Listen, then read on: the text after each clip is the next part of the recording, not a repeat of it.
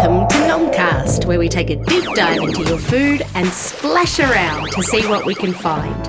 I'm your host, Alice Zaslavsky, and today we're squishing and squashing through the world of berries.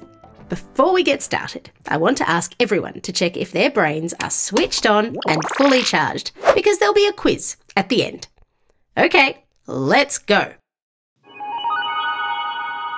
Welcome to the Fruit Box. On today's show, we're doing something a little different. You see her every day, and now we're putting her in the spotlight. It's Barry! Barry. Um, I thought we weren't going to. Barry, this is your life. Barry is a big family. They're the ones you see when you visit the supermarket, like strawberries, raspberries, and blueberries. Then there are the cousins you might not know yet loganberries, boysenberries, caneberries, and even cloudberries. Some are small, so you can pop a whole bunch in your mouth to explode at once.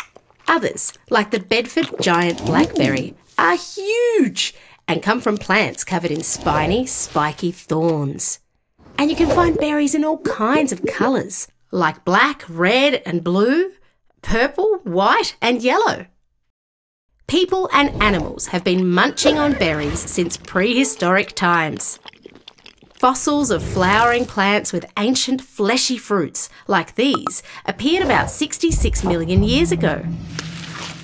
Once humans arrived, we grabbed these flavour sensations. Early hunter gatherers ate them even before farming existed. Ancient Greeks were the first to cultivate raspberries, and the ancient Romans thought they had medicinal properties. In Australia, we have heaps of native types, including gooseberries, snowberries, and white elderberries. Indigenous peoples have been eating and cooking with them for thousands of years. But there's something you might not realise about berries. Lots of them aren't berries at all. Oh. As, As we we celebrate, celebrate Berry, Berry today, today, I'm I'm excited, excited to to introduce, introduce a special, Special guest, to our, couch. My, My friend, friend and and yours, yours, Perry. Perry. But, uh, you're, a banana. That's, That's right, right, John. John. Perry, Perry, like, like all bananas, all bananas, has, has seeds, seeds and and pulp, pulp, also called pericarp. pericarp. And, And he he developed, developed from a flower, with one, ovary, which, which makes, makes Perry, Perry A berry. just, just like, like grapes, grapes, tomatoes, tomatoes, avocados, avocados, eggplants, and kiwi, fruits. Actually, Actually, John, John, even, even watermelons, watermelons are technically, berries.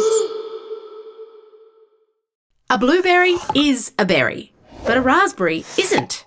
And strawberries aren't berries. And blackberries aren't berries. So what are they? You probably think of them as a delicious explosion of juicy flavour, which is true.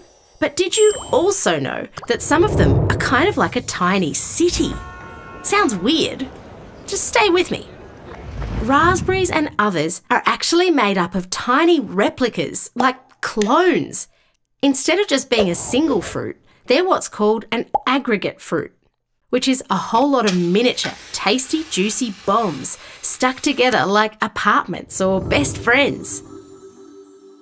Lots of the quote unquote berries we know and love are in fact a whole bunch of juicy blobs that never go anywhere alone. Not even to the toilet.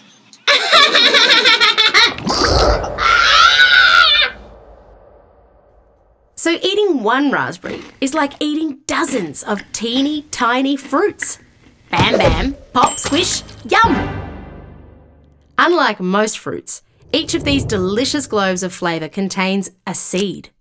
That seed can become a whole new plant. And those plants grow their own aggregate fruits, little bags of juice with their own seeds, and they become plants. And, well, you know how this works. The juice blobs are called drupelets. A raspberry can be made up of as many as 125 drupelets, held together by microscopic hairs. Each little segment is a complete stone fruit, a whole fruit, self contained. And we get to smash them all in one go. Just to make it even more complicated, a mulberry, which is also not a berry, is a collective fruit. Its drupelets are formed by multiple different flowers. That's also how we get pineapples. Um, it's just a bit of a shock, you know? I thought I knew who I was. Every day I said to myself, You're a berry. You can achieve anything. If I'm not a berry, who am I? Not now, Drupelets. I'm trying to find myself.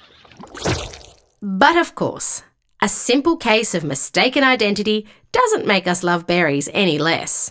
They're full of antioxidants like anthocyanins, ellagic acid, and resveratrol. And a good source of fibre. Some, like strawberries, are high in vitamin C, and they all contain vitamins and minerals our bodies love.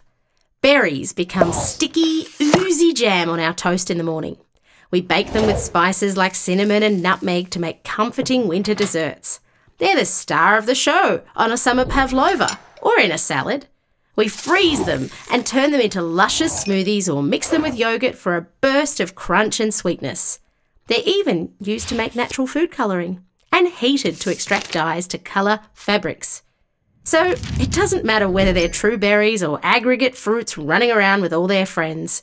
Berries are a tasty, bite sized nugget of goodness we can enjoy every day. I'm here for the right reasons. I wanted to learn more about who I am, and I've done that. It doesn't matter that I'm not a berry. I'm still berry, and I'm surrounded by friends and family who understand what it's like to be me. That's even better. All right, all right, quiz time. Quiz time. Question, Question one. one. What are the juicy blobs that make up raspberries and other fruits called? Question two. True or false? A grape is actually a berry. Question three. What is an example of a compound fruit? Question four. How far back can we find evidence of berries? Question five. Which of the berry names we mentioned is a real berry?